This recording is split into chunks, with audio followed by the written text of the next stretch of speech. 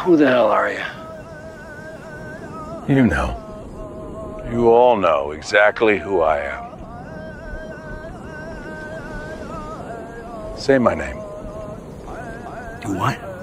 I don't, I don't have a damn clue who the hell you are. Yeah, you do. I'm the cook. I'm the man who killed Gus Fring. Bullshit. Cartel got Fring. You sure?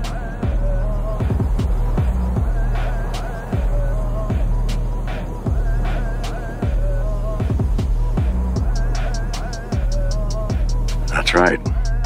Now, say my name.